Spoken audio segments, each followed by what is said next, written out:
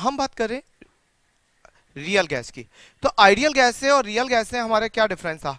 Ideal gas PV equal to NRT को follow करती है। ये नहीं करती है बस। आइडियल हर चीज़ आइडियल होती है। जो आपने रूल बना दिया, उसको फॉलो करती है तो वो आइडियल है और नहीं करती है तो वो रियल है।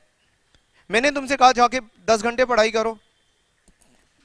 बीस ट्वेंटी फोर आवर्स पढ़ाई करो। क्या ट्वेंटी फोर आवर्स पॉसिबल है? नहीं है।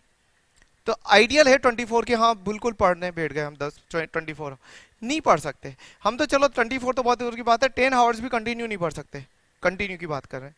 तो आइडियल कंडीशन बोली जा सकती है हाँ कि यार वो तो पूरे दिन रात मेहनत कर रहा है। तो ये आइडियल है, लेकिन रियल में नहीं होता है।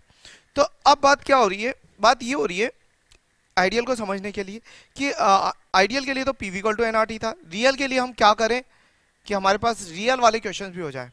फॉर एग्ज़ाम्पल अगर हमें प्रेशर टेम्परेचर मोल दे दिया जाए और हमसे वॉल्यूम पूछा जाए तो हम बता सकें। पहले बता देते थे क्योंकि पहले हम पीवी टू एनआरटी लगाते थे, लेकिन अब नहीं बता पा रहे।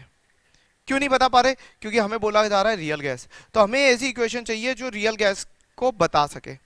तो अब हो क्या रहा है कि जब कोई रियल चीज़ होती है ना तो उसमें एजम्पन बहुत सारे होते हैं। तो हर साइंटिस्ट अपना एजम्पन लेके चलता है, अपनी थ्योरी बना के चलता है और आंसर देने की कोशिश करता है। तो पर्टिकुलर किसी गैस के लिए तो वो बहुत सही आंसर निकल जाता है लेकिन हर गैस के लिए निकले ज़रूरी नहीं है। तो फिर यहाँ पर क्या होता है? Number of scientist number of theories आ, आ जाती है। तो हमारे सिलेबस में सिर्फ़ और सिर्फ़ एक ही थ्योरी ली गई है van der van der Waals gas equations for real gases लेकिन उसके अलावा भी इक्वेशंस होती है जो गैस इक्वेशंस के लिए लगती है। तो हम आज जो पढ़ने जाएँगे वो वांडरवाल गैस इक्वेशंस ही पढ़ेंगे और हम ये मानेंगे कि वांडरवाल गैस इक्वेशन बिल्कुल सही है। बिल्कुल सही है मानना पड़ेगा। लेकिन मान के चलिए कि हम कुछ एजम्पन्स लेते हैं और एजम्पन की वजह से हमारे एरर फिर भी बनी रहेगी अब। और एरर बनी रहेगी तो बनने दो। अच्छा चलिए, एक और चीज़ मैं आपके साथ शेयर कर रहा हूँ। अगर एग्जामिनर आपको बोलता है कि आई गैस रियल है, तभी उसे रियल मानेंगे, नहीं तो अदरवाइज़ हम पीवी इक्वल टू एनआरटी हर गैस के लिए लगाएँगे। दूसरी चीज़ मैं आपके साथ बोलता हूँ कि ऐसा क्यों हो रहा है? क्योंकि जब भी कोई गैस रियल हो या आइडियल हो, अगर आप आइडियल वाला फॉर्मूला भी लगाएँगे तो बहुत ज़्यादा एरर नहीं होती। मुश्किल से एक या दो परसेंट एरर चलती है। फॉर एग्ज़ाम्पल अगर आपने ideal PV call to NRT निकाल के किसी का मोलर वॉल्यूम 22.4 निकाल दिया कितना निकाल दिया? 22.4 तो रियल लगाते या उस गैस की प्रॉपर्टी पर लगाते, लगाते हैं उस पॉइंट पे तो 22.4 की जगह 22.43 हो जाएगा या 4 टू हो जाएगा। बस इतना सा फ़र्क पड़ता है। यानी आप सोच भी नहीं सकते इतनी ज़्यादा ज़्यादा कोई खास फ़र्क नहीं पड़ता है आंसर में। तो इतनी कैलकुलेशंस के हाई लेवल की कैलकुलेशंस करने के लिए आपको कैलकुलेटर चाहिए और कैलकुलेटर हमारे एग्ज़ाम में अलाउ नहीं है।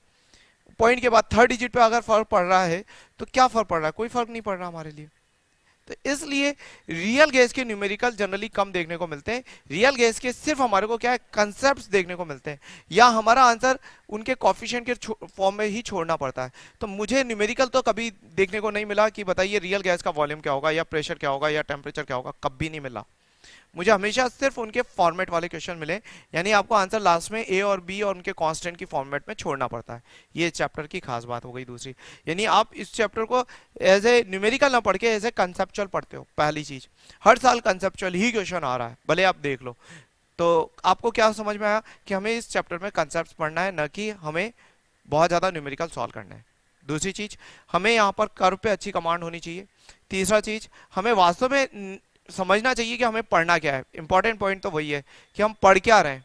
तो उसी को हमारे पे कंसंट्रेट करना पड़ेगा कि ये साइंटिस्ट क्या सोच के ऐसा बोल रहा है। अगर आपने भी वो चीज़ समझ ली तो आप खुद भी कम साइंटिस्ट नहीं बन जाओगे। तो हेडिंग डलेगा आपका। कौन सा हेडिंग डलेगा? रियल गैस रियल गैस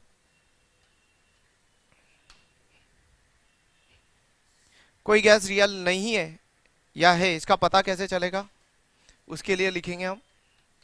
या why a gas is real एक लाइन में बोलना चाहता हूँ मैं, लिखो।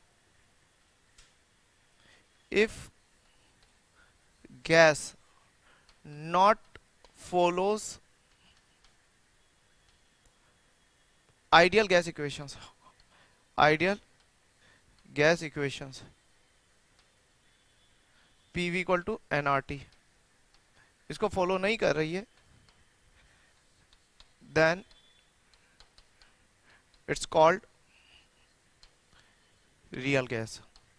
Real gas चलिए, यहाँ तक आपको आइडिया तो लग गया कि रियल गैस क्या है और आइडियल गैस क्या रहेगी।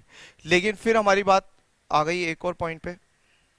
तो इसका मतलब हमारे पास एक हो गया पीवी इक्वल टू एनआरटी को जो फॉलो नहीं करे, वो हमारे लिए क्या हो गया? रियल गैस तो दूसरी बात हमारे पास आ गई, क्या गैसेस रियल होती है आइडियल ये बहुत अजीब सा क्वेश्चन है जो सबके दिमाग में होगा कि गैसेस रियल होती है या आइडियल सिंपल सी बात है मैं आपको फिर बोल देता हूँ। गैसेस री, ना रियल होती है ना आइडियल होती है। तो फिर क्या होती है? गैसेस गैस होती है किसी पर्टिकुलर कंडीशन पे वो आइडियल बन जाती है किसी पर्टिकुलर कंडीशन पे वो रियल बन जाती है। दैट द फ़र्स्ट पॉइंट किसी के लिए वो रियल कंडीशंस हो सकता है या आइडियल कंडीशन जल्दी आ जाती है किसी के लिए, थोड़ा मुश्किल होता है आइडियल में लाना। तो वो क्या मुश्किल है वही हमें इस चैप्टर में पूरा थ्रू आउट द चैप्टर पढ़ना होता है, कि क्या मुश्किल है कि इसको लाना मुश्किल होता है। फॉर एग्ज़ाम्पल ये बच्चा है, इसको मैंने कह दिया, बेटा, कि तुम, तुम्हें बहुत मेहनत करनी है, और तुम इतनी मेहनत करोगे तो तुम्हारा सिलेक्शन हो जाएगा। वो मेहनत करने लग जाता है, जल्दी आइडियल हो गया। कोई नहीं है, मैं कह रहा हूँ, बेटा, इतनी मेहनत करोगे, फिर नहीं कर रहा है। फिर उसकी मम्मी कह रही है, पापा कह रहे हैं फ्रेंड कह रहे हैं। फिर उसके कुछ खुद को और कभी लगता है यार कि यार मेरे साथ वो नहीं हो रहा है तो वो धीरे धीरे आ रहा है। तो वैसे ही गैसेस में होता है। कुछ गैसेस बहुत जल्दी आइडियल बन जाती है। For example helium neon argon krypton जैसी कंडीशंस गैसेस रूम टेम्परेचर पे भी आइडियल के काफ़ी नज़दीक है। 100 परसेंट आइडियल की तो बात करते ही नहीं है हम। 99.99 परसेंट भी अगर कोई आइडियल है तो इसको आइडियल बोल देता हूँ मैं। ठीक है? आ गई बात समझ में? तो हमारे लिए कोई भी गैस आइडियल नहीं है, रियल नहीं है, बस कंडीशन उसे आइडियल और रियल बनाती है। तो जब उसे कंडीशन बनाती है तो वो क्या कंडीशन है, वो हमें पता लगाना है, वो भी इसी लेक्चर में। तो चलें, दूसरा पॉइंट तो if gas not follows ideal gas equations, then it's called real gas. तो अब हमारे पास गैस दो तरह की हो गई। पहला, गैस आइडियल भी है और रियल भी है। और एक और चीज़, ये कोई पर्टिकुलर गैस नहीं है। हर गैस हर अलग अलग कंडीशन पे अलग अलग होती है। तो दूसरा पॉइंट हमारे पास आ रहा है, यहाँ पीवी इक्वल टू एनआरटी लग रहा है उस पर्टिकुलर कंडीशन में, और ये P V equal to NRT नहीं लग के हमने एक करेक्शन फैक्टर ले लिया जेड एनआरटी जेड हमारे लिए यहाँ पर एक करेक्शन फैक्टर का काम कर रहा है। तो ये हमारे, इसका नाम मैंने रखा कंप्रेशन फैक्टर कंप्रेशन फैक्टर मैंने इसको कांस्टेंट क्यों नहीं बोला? क्योंकि ये जनरली कांस्टेंट कभी भी बोला जाता है, जैसे आर को कांस्टेंट बोलते हैं तो वो पी वी टी पे डिपेंड नहीं करता। आर को बोलते हैं पीवीटी पे डिपेंड नहीं करता, लेकिन जेड अलग अलग प्रेशर पे अलग अलग वॉल्यूम पे इसकी वैल्यू अलग अलग होती है। तो जेड किस पे डिपेंड करता है? जेड बहुत सारे फैक्टर पे डिपेंड करेगा। पीवीटी पे भी डिपेंड करेगा नेचर ऑफ़ गैस पे भी डिपेंड करेगा। समझ में आ रहा है? तो इसलिए कांस्टेंट नहीं होके वेरिएबल है और वेरिएबल है तो हम इसको क्या बोलेंगे? फैक्टर बोलेंगे।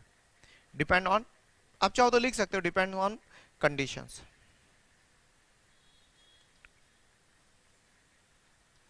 depends on conditions बस इसी को हमें समझना। डिपेंड्स ऑन कंडीशंस तो सही है। जो हमारा पहला पॉइंट था, वो हमेशा आप बना के चलो। गैसेस आर नॉट आइडियल और real conditions make them ideal and real ये मेरा बहुत बड़ा पॉइंट है, इसको ध्यान से लिखेंगे। Gases are not ideal and real.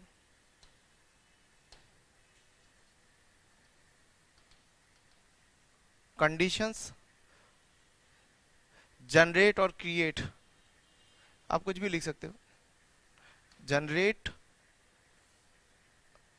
the ideal and real nature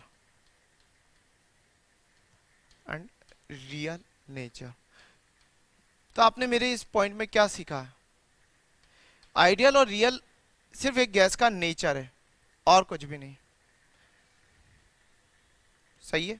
ideal और रियल गैस का नेचर है। मैं मैं ही हूँ, लेकिन मैं कभी अच्छा आदमी हो जाता हूँ और कभी बुरा हो जाता हूँ।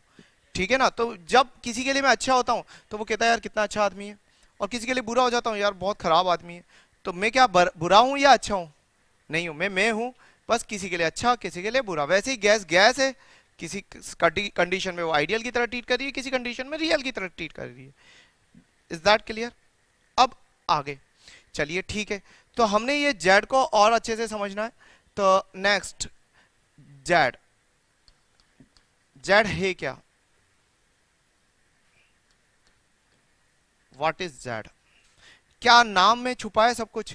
हमने बोल दिया जेड कंप्रेसिबिलिटी फैक्टर है तो हमने इसका नाम क्यों रखा? समझ, कोई भी नाम होता है तो उसका नाम के पीछे लॉजिक भी तो होता है। तो वो लॉजिक क्या है? व्हाट इज़ जेड कुल मिला के हमारे लिए यही आ रहा है। हेडिंग यही रहता है व्हाट इज़ जेड ये क्वेश्चन मेरा बना हुआ है। तो Z is the compressibility factor जो कि हमारे को बता रहा है कि किस तरह से कंप्रेसिबिलिटी हो रही है। लेकिन फिर भी मेरे को आपको इसको डिफाइन करना है कि कैसे इसको निकालेंगे। मान लीजिए,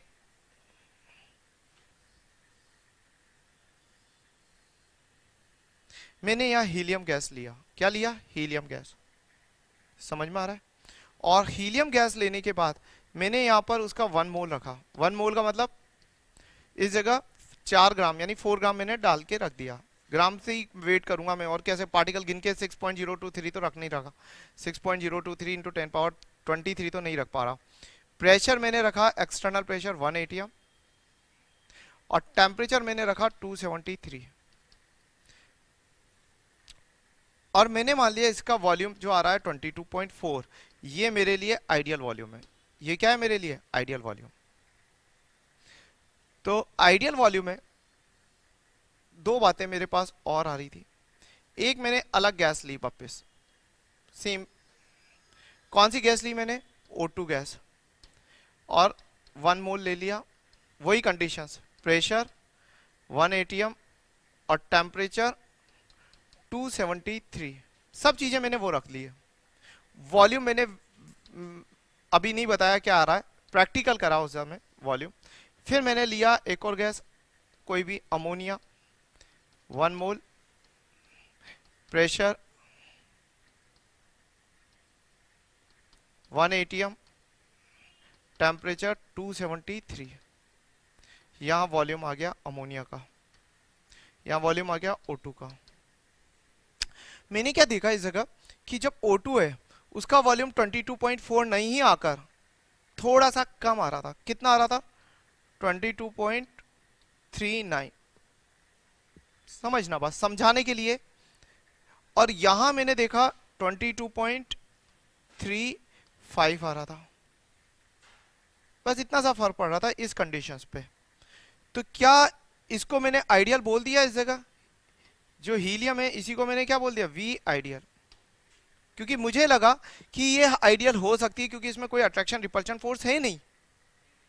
तो इसका मतलब इसके आइडियल होने के ज़्यादा चांसेस है इन दोनों के कंपेयर में। तो मैंने इसी को आइडियल बना दिया और इसको क्या मान लिया? रियल रियल एग्जैक्ट ये भी नहीं आ रहा, ये भी नहीं आ रहा। और एरर भी कितनी आ रही है कम? आप देख सकते हो बहुत कम एरर आ रही है। तो क्या ये हमारे लिए आइडियल का काम कर सकते हैं? ये दोनों नहीं। अब इनके लिए वॉल्यूम क्या हो रहा है? इनके लिए वॉल्यूम ध्यान से सुनना। इन, ये फॉलो करेगी पीवी इक्वल टू एनआरटी नहीं। ये क्या फॉलो करेगी? इसको थोड़ा और समझते हैं अपन। तो ये क्या फॉलो करेगी? इसको समझो आप। आपको अच्छे से समझ में आ जाएगा। जेड के लिए। ये जो गैसेस हैं, ये तो पीवी इक्वल टू एनआरटी को फॉलो कर रही है। ये किसको फॉलो करेगी? PV equal to Z one NRT और PV equal to Z two समझ में आ रहा है? पक्का? यहाँ अंतर आएगा वी ओ टू लिखना पड़ेगा और ये वी एन थी क्योंकि बाकी सब चीज़ें सेम है। तो अब आप बताइए कि आपके लिए आइडियल गैस के लिए क्या था? आइडियल गैस के लिए। वी आइडियल वॉल्यूम कितना था? जल्दी से बोलो। P NRT by P. और रियल गैस के लिए क्या आ रहा है? वी रियल कोई भी रियल गैस हो। Z N R T by P दो इक्वेशन आ गई आपके पास। आपने क्या करा? V real upon V ideal कर दिया। जब आपने ये ऐसा करा तो NRT NRT NRT P cut गया। तो आपके पास क्या आ जाएगा? जेड पक्का? कोई दिक्कत नहीं है। अब आप ये बताइए जेड की वैल्यू इसलिए मैं बोल रहा हूँ कि जेड हमारे लिए पहला चीज़ मैथमेटिकल सिग्निफिकेंस हो गया। पहली फ़र्स्ट डेफिनेशन हो रही है, वो क्या आ रही है? Z is ratio of is ratio of volume of real gas and ideal gas gas at same temperature and pressure and mole तीनों चीज़ें हमारे सेम है समझ में आ रही है बात तो दूसरा क्वेश्चन का आंसर भी आपको मिलना है कि इसको चलिए ठीक है, इसको कंप्रेसिबिलिटी फैक्टर क्यों बोल रहे हैं हम? वाई इट इज़ कंप्रेसिबिलिटी तो सेकेंड आंसर हो रहा है कि जनरली अगर आप क्या देखेंगे जनरली जेड की वैल्यू क्या आ रही है? V real upon V ideal और ये वैल्यू आपको क्या दिख रही है? एक से कम। क्यों दिख रहा है? क्योंकि 22.39 और 22.35 तो ये क्या दिख रहा है आपको? एक से कम ही दिख रहा है ना? तो जब आपको एक से कम दिखाई दे रहा है तो इसका मतलब गैसेस रियल की तरफ़ जाने पर कंप्रेस हो रही है एक्सपांशन हो रही है? कंप्रेस हो रही है। तो बस जेड की वैल्यू एक से कम आ रही है, इसलिए इसको हम क्या बोलेंगे? So Z is called compressibility factor. Compressibility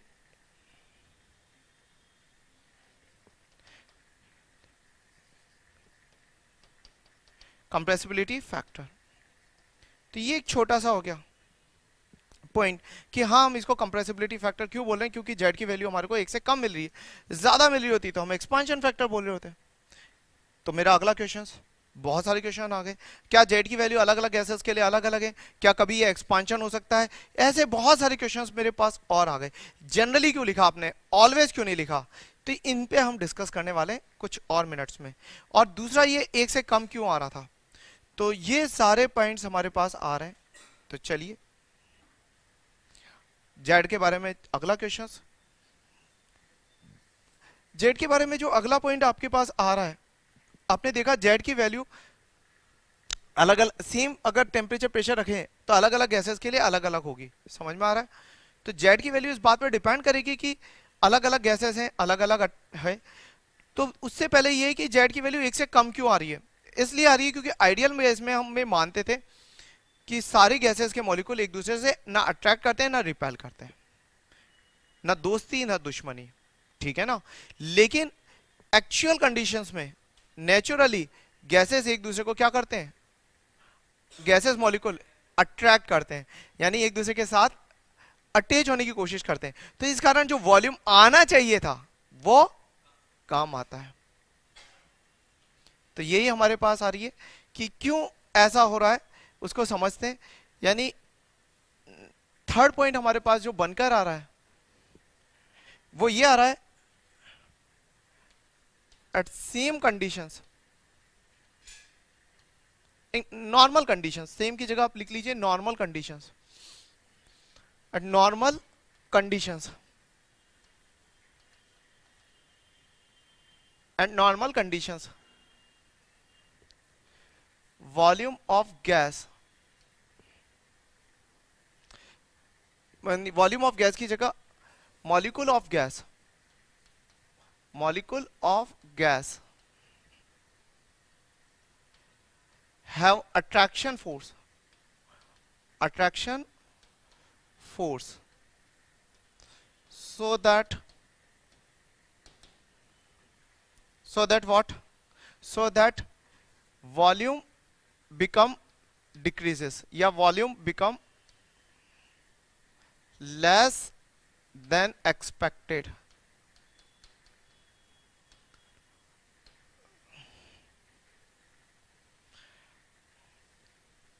ये हमारे पास हो गया कि इसलिए कम हो रहा है। एंड एक और point different gases have different different gas have different attractions between molecule different gas have different attractions between molecules.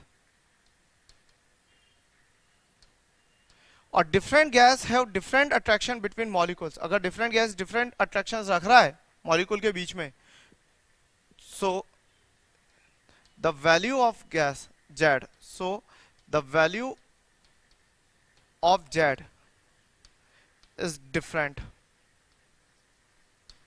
for different gases for different gas अब बड़ी चालाकी से मैंने यहाँ पर बहुत अच्छा सा बताया। आपने डिस्कस भी नहीं करा। ये तो समझ लिया कि इसका 22.4 हो रहा है। मैंने यहाँ पर रखा 22.39 और यहाँ रखा 22.35 यहाँ ज़्यादा कम करने के पीछे मेरा क्या लॉजिक था? क्योंकि ये जो अमोनिया गैस है, इसमें पॉलरिटी ज़्यादा है। तो अट्रैक्शन फोर्स क्या होगा? ज़्यादा होगा। अगर इसकी जगह कोई और गैस होती, जैसे H2S और ज़्यादा पॉलरिटी होती तो जितनी ज़्यादा पॉलरिटी होती है मॉलिक्यूल में डायपोल डायपोल अट्रैक्शन ज़्यादा होता है मोलर में डायपोल डायपोल अट्रैक्शन ज़्यादा होता है तो कहीं ना कहीं अट्रैक्शन फोर्स ज़्यादा होगा। अट्रैक्शन फोर्स ज़्यादा होगा तो वॉल्यूम कम होगा।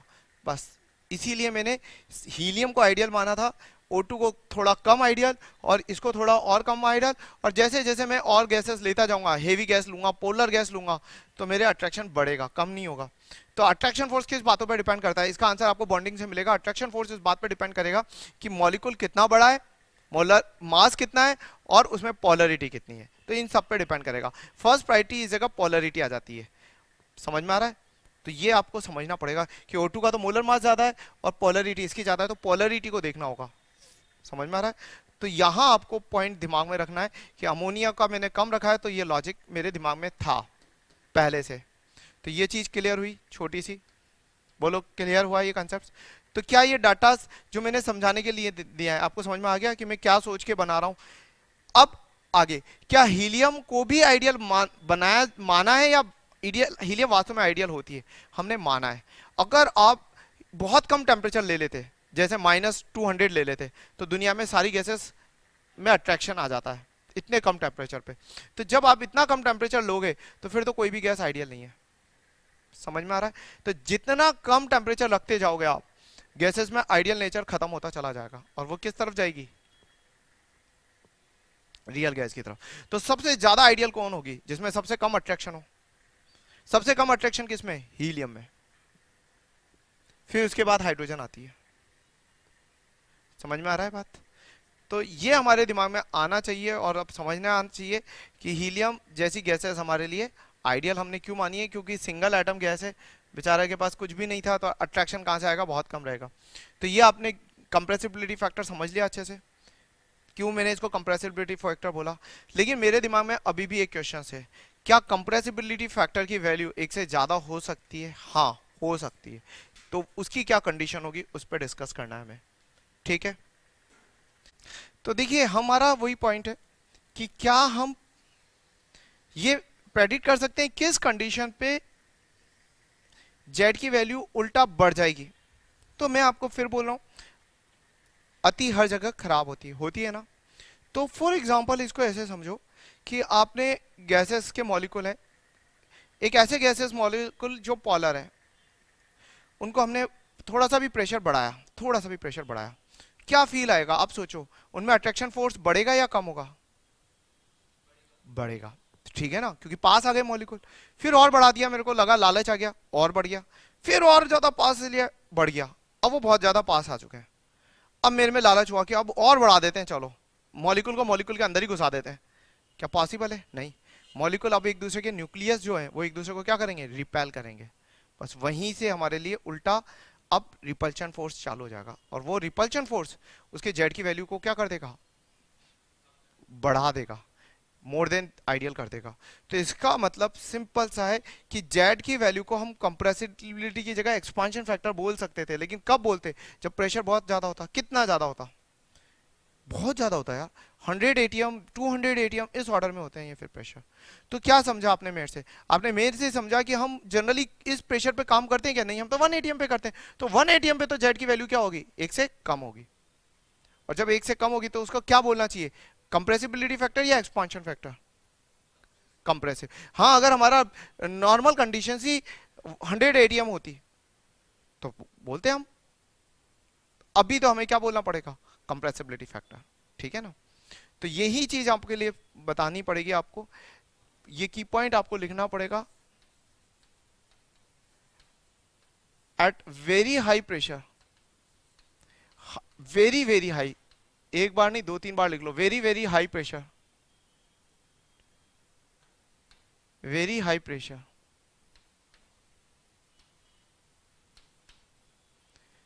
gas molecule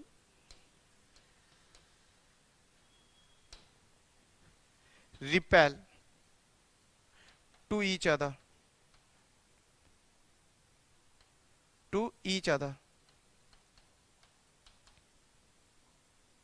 so high pressure so that high at high pressure high pressure the value of V real is more than V ideal और दूसरा रिज़ल्ट आपके पास आ रहा है कि Z की वैल्यू इसीलिए आपके पास क्या होगी? मोर देन वन तो आपने बहुत अच्छे से समझ लिया, बिना कोई थ्योरी के। आपने कुछ भी थ्योरी नहीं पढ़ी, आपने वांडरवाल नहीं पढ़ा, आपने कोई थ्योरी नहीं पढ़ी, आपने कंसेप्ट खुद से ही बना लिए इतने तो। क्या बना लिया? कि हाई प्रेशर पे जेड की वैल्यू क्या होगी? लेस देन या greater than greater than one और लो प्रेशर पे क्या होगा? लेस देन वन और लो प्रेशर पे अट्रैक्शन फोर्स डोमिनेट करेगा और हाई प्रेशर पे रिपल्शन फोर्स तो आपने कंसेप्ट जो बनाया, बहुत अच्छा बनाया कि भाई क्या बनाया आपने? ये जेड के बारे में। जो बनाया है V real upon V ideal होता है। आइडियल और ये जो वैल्यू है, ये गैस के नेचर पे और कंडीशन पे डिपेंड करती है। दूसरा पॉइंट आपने जो कंडीशन से अगर गैस फिक्स रख दी जाए तो आपने क्या बनाया? लो प्रेशर और एक हाई प्रेशर। लो प्रेशर पर आपके पास अट्रैक्शन फोर्स होगा। Attraction force dominate. डोमिनेट। और जब भी अट्रैक्शन फोर्स डोमिनेट होगा, जेड की वैल्यू एक से कम होगी। हाई प्रेशर पे repulsion force, repulsion force dominate करेगा और जेड की वैल्यू ग्रेटर देन वन होगी। समझ गए ये एक बेसिक सा हमारे पास कंसेप्ट हो गया। तो जो डाटाज मैंने लिए हैं यहाँ पर, आप देख सकते हो कि जेड की वैल्यू क्या है? बहुत कम है, कोई ज़्यादा नहीं है। पॉइंट ज़ीरो यहाँ पर क्या होगी? पॉइंट नाइन नाइन या पॉइंट नाइन फाइव इस ऑर्डर में होगी तो जेड को ना लेने से न्यूमेरिकल में कोई फ़र्क नहीं पड़ रहा। लेकिन कंसेप्चुअल तो फ़र्क पड़ेगा। तो हमारे दिमाग में एक ही आ, आ, बात आ रही है कि क्या हमें रियल को आगे कैसे लेके जाएँ? रियल को आगे जैसे लेके जाएँ मतलब जेड को और कैसे निकालें? क्योंकि आपने तो बता दिया आप मैंने जो बताया वो क्या बताया आपको? मैंने ये बताया कि जेड एक ऐसे फैक्टर है जो टेम्परेचर प्रेशर के भी साथ चेंज होगा और गैस के नेचर के साथ भी चेंज होगा। यानी ओवरऑल मिला के PV equal to Z NRT आप गैस के लिए तो लगा ही नहीं सकते हो। क्योंकि उस कंडीशन पे जेड आपको डिफाइन हो। और हर एक गैस के लिए अलग अलग टेम्परेचर प्रेशर पे जेड को डिफाइन करना मुश्किल था। तो ये बात मैंने किससे शेयर करी? वांडरवाल से। वांडरवाल ने मेरी हेल्प करी। उसने कहा, मैं एक ऐसी इक्वेशन बना देता हूँ, जिसमें ऐसे वेरिएबल आएँगे, जो गैस के नेचर पे तो डिपेंड करेंगे, लेकिन अगर गैस फिक्स कर दी जाए तो टेम्परेचर प्रेशर और वॉल्यूम पे डिपेंड नहीं करेंगे। मैंने कहा बिल्कुल सही है। उस इक्वेशन में आने वाले पैरामीटर पे तो डिपेंड ना करें। तो फिर उसे हम क्या बोलेंगे? कांस्टेंट बोलेंगे। और उन कांस्टेंट को हम बोलेंगे वांडरवाल कांस्टेंट उस इक्वेशन को बोलेंगे हम van der Waals gas equations तो हेडिंग क्या डालेगा हमारा? वांडरवाल गैस इक्वेशंस तो दिक्कत ये थी कि हमें अभी तक रियल गैस के लिए ऐसे इक्वेशन चाहिए थी जिसमें कांस्टेंट आए, लेकिन वो इक्वेशन के पैरामीटर पे डिपेंड ना करते हो। मैंने ये काम वांडरवाल को दिया और वांडरवाल ने अपने नाम से ही दे दी, बताओ। Van der Waals real gas equations real के लिए लग रही है रियल गैस इक्वेशंस उसने कहा कि भाई, मैं इक्वेशन दे रहा हूँ जो रियल गैस के लिए भी लगेगी। रियल गैस के लिए ही लगेगी, खेत देखा जाए तो। तो उसने क्या बोला? उसने कहा P V equal to N R T ये तो हो गया आइडियल गैस इक्वेशंस जो सिर्फ़ आइडियल गैस के लिए लगती है, लेकिन ये मैंने नहीं बताया। वांडरवाल ने साफ़ कह दिया, ये तो बॉयस लो चार्ल्स लो और उनके through combined gas law equations बन के आ गई। मैं इसको ऐसे लिखता हूँ। P plus A N square by V square और V minus N B equal to N R T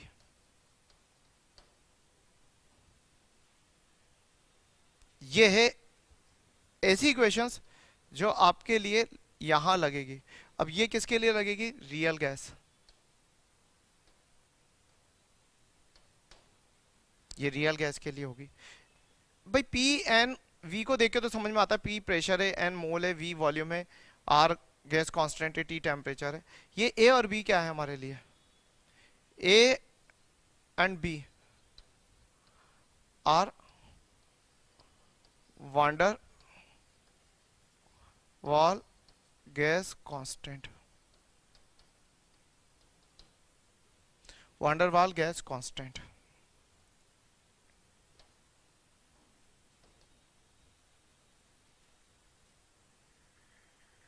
समझ में आ रहा है? तो ये वांडरवाल गैस कांस्टेंट हो गया आपके पास। अच्छा ए के बारे में क्या बता सकते हो आप? सबसे पहले वो हमें समझना है। दूसरा, एक और कंडीशंस अगर आपके पास यहाँ पर एन की वैल्यू क्या आ गई? वन आ गई। एन की वैल्यू क्या हो गई आपके पास? वन मान लो वन है।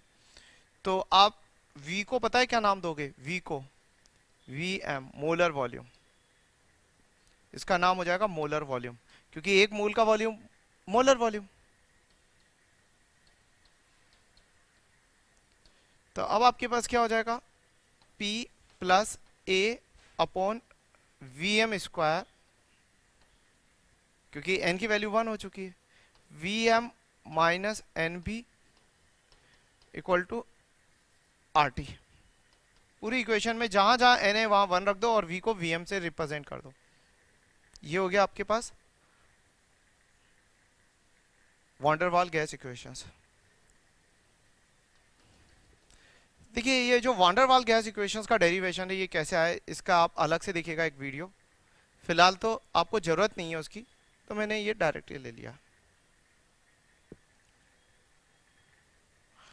तो यहाँ तक क्लियर है, p plus A N square अब मुझे इसको समझाना है कि इसमें से क्वेश्चंस क्या बनेंगे और कैसे बनेंगे। ए क्या है पी क्या है, उनका फ़िज़िकल सिग्निफिकेंस क्या है, और हम उसको अच्छे से समझ लेते हैं।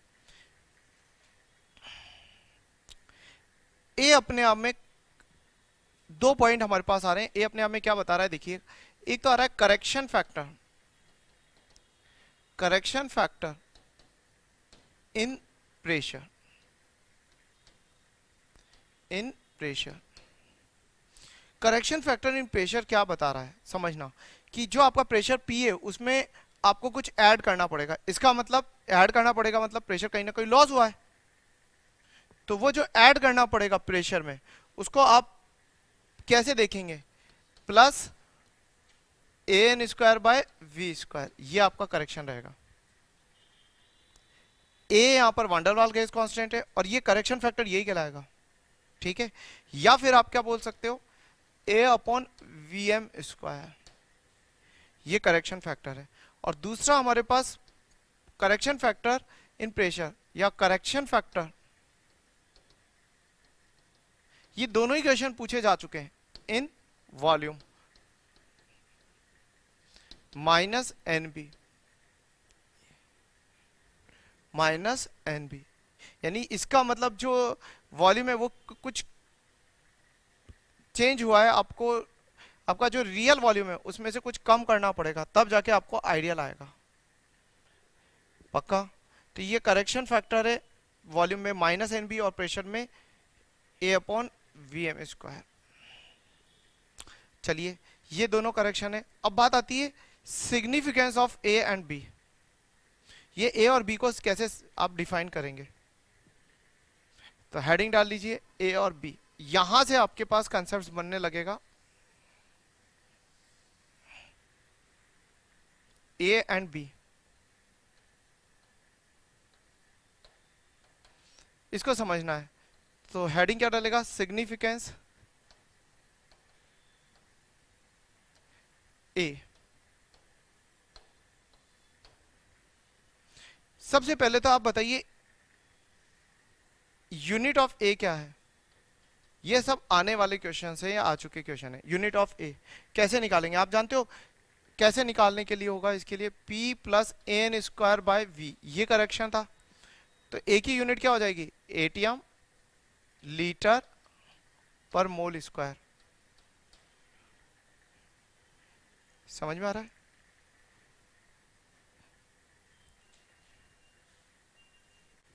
तो बताइए, यहाँ पर वी स्क्वायर है तो ये भी क्या हो जाएगा? एटीएम लीटर स्क्वायर दस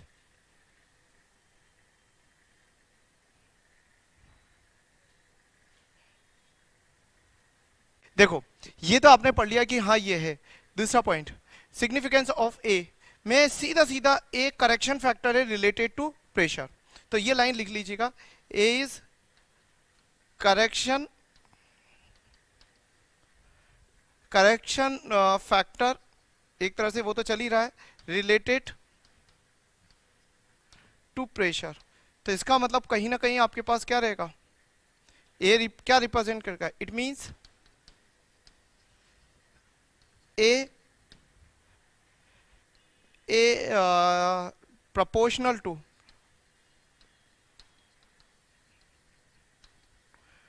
attraction force. Attraction force between molecule between molecule.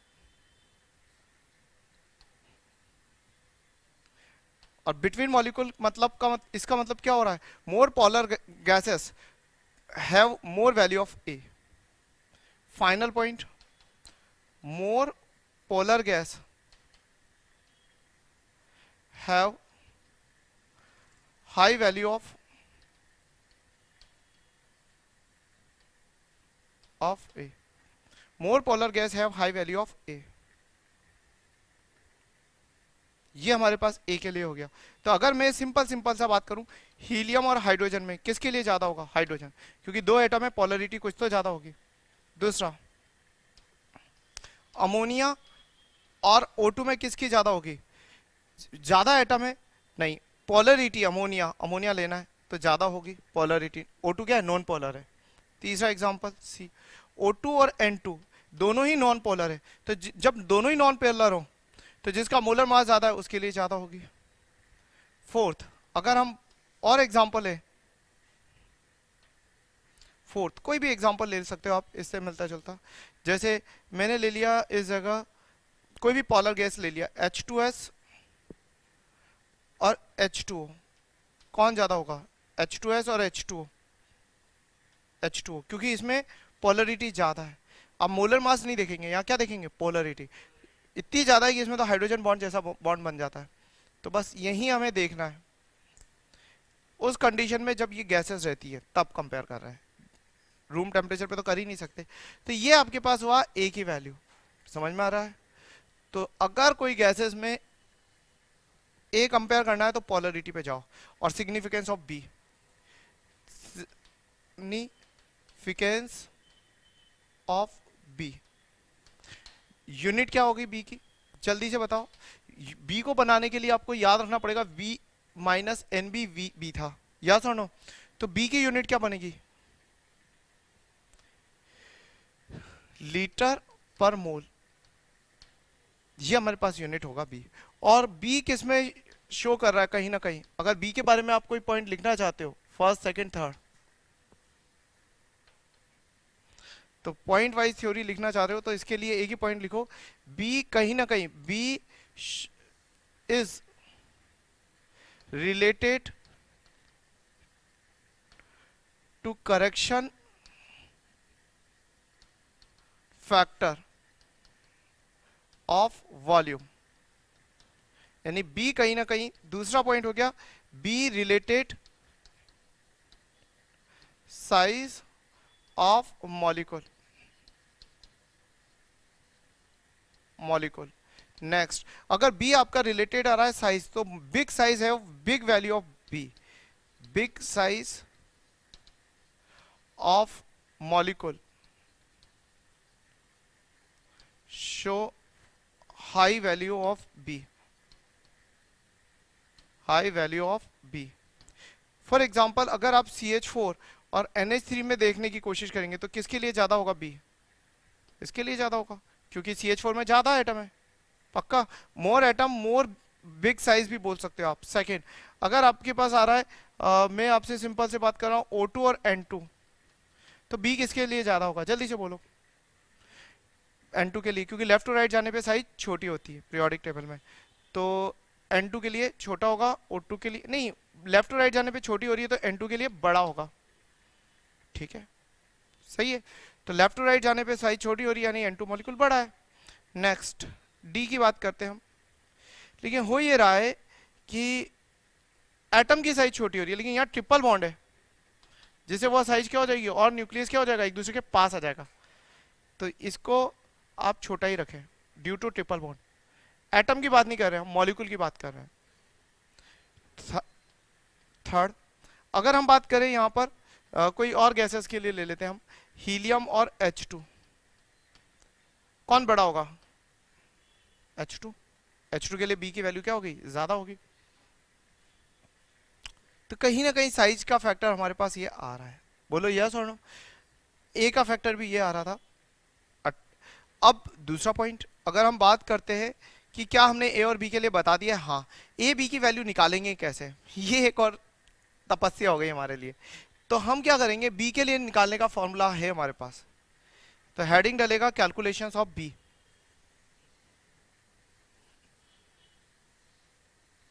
हमें न्यूमेरिकल नहीं पूछा जाएगा, सिर्फ़ फॉर्मूला क्योंकि न्यूमेरिकल आते ही हमारे लिए क्या हो जाएगी? ऐसी कैलकुलेशन आ जाएगी जो कैलकुलेटर से ही हो पा रही है। तो वैल्यू ऑफ़ बी इसी के अंदर। वैल्यू ऑफ़ बी क्या हो जाएगा? Four multiply by four by three pi R cube N A. यानी एक तरह से देखा जाए तो जो यहाँ पर आपके पास आर आ रहा है, वो क्या आ रहा है? Radius of molecule. Radius of molecule आएगा आपके पास। तो चलिए स्टार्ट कर रहे हैं आगे। मैंने यही बताया, आपको बी की जो वैल्यू है बी वो आपको van der Waals gas constant जो बी है, उसको वैल्यू निकाल सकते हो। एक ही नहीं निकाल सकते। तो आप क्या करोगे? इक्वेशन तो मालूम है? एक बी की वैल्यू रख के ए की वैल्यू निकाल लेना। उसके अलावा कोई और तरीका नहीं है। आप मेरे तरीके से सिर्फ़ ऑर्डर पे कंपेयर कर सकते हो, किसके लिए बी ज़्यादा है, किसके लिए सॉरी किसके लिए ए ज़्यादा है, किसके लिए बी ए कम है। लेकिन अगर वैल्यू निकालनी है आपको तो पहले आप बी निकालोगे और वांडरवाल गैस इक्वेशन में रखकर क्या निकालोगे? ए, ए निकालोगे। ठीक है? तो बी निकालने का तो मेथड ये हो गया। तो बी को याद कैसे करा मैंने? मैंने ऐसे याद करा एक मॉलिक्यूल का वॉल्यूम कितना होगा? सिंगल मॉलिक्यूल का। Four by three pi R cube तो उसका एक मोल वॉल्यूम कितना होगा? एक मोल मॉलिक्यूल का। एन और वांडरवाल का ये कहना था कि जो मॉलिक्यूल रहता है वो अपने से स्पेरिकल होने की वजह से अपने से चार गुना वॉल्यूम झेलता है। चार गुना। कोई तीन माने, कोई दस माने, वो उसकी मर्ज़ी है, लेकिन उसने प्रैक्टिकल कुछ तो सोच के बोला होगा। तो उसने फोर टाइम्स लिया है और फोर टाइम्स कर दिया। तो फोर टाइम्स मॉलिक्यूल वो ऑक्यूपाइड कर रहा है अपने एग्जैक्ट वॉल्यूम से। ये एजम्पन मान के उसने करा है और अपने लिए बी निकाला ए आप वहाँ से निकाल लेना। तो याद रखना, अगर किसी का रेडियस आपको दिया हुआ है, जैसे नैनोमीटर पेकोमीटर किसी में भी दे दिया तो आप वॉल्यूम किसमें निकालने की कोशिश करते हो? लीटर में? तो इसका मतलब आर किसमें रखोगे? डेसीमीटर में। आर को डेसीमीटर में रखना एक मॉलिक्यूल का निकाल लेना four by three pi R cube करके, फिर एन से करना, और फिर फोर से मल्टीप्लाई करना। बी आ गया, फिर पी वी टी में दे ही दूँगा आपको। पी वी टी दे दूँगा, एक ही वैल्यू वो पूरी की पूरी van der Waals gas equations का यूज़ करते हुए आप निकाल लोगे। लेकिन आप सोचो, क्या ये कैलकुलेशन बिना कैलकुलेटर के इतनी आसान होगी? नहीं होगी। इसलिए इसके न्यूमेरिकल नहीं आएँगे। आपसे सिर्फ़ एक ही चीज़ पूछी जाएगी, इनमें किसका ए ज़्यादा है, किसका बी ज़्यादा है? खत्म। और कुछ भी नहीं पूछा जा रहा। तो ये टॉपिक यही खत्म हो गया। आ गई बात?